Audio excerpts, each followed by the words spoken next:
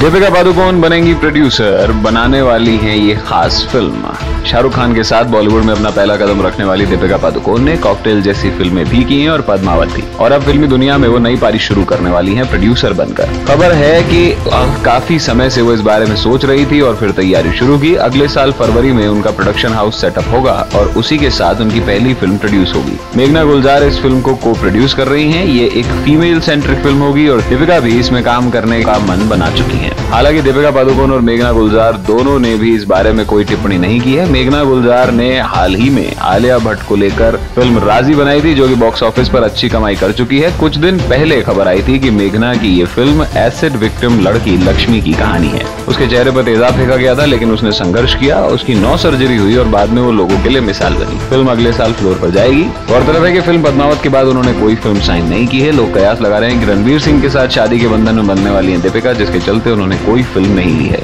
इसके अलावा ऐसी खबरें भी आई थी कि दीपिका पादुकोण फ़िल्म चालबाज के रीमेक में नज़र आने वाली हैं। गौरतलब है कि चालबाज, दिवंगत अभिनेत्री, श्रीदेवी की सुपरहिट फ़िल्मों में से एक है। इस फ़िल्म में श्रीदेवी ने डबल रोल प्ले किया था।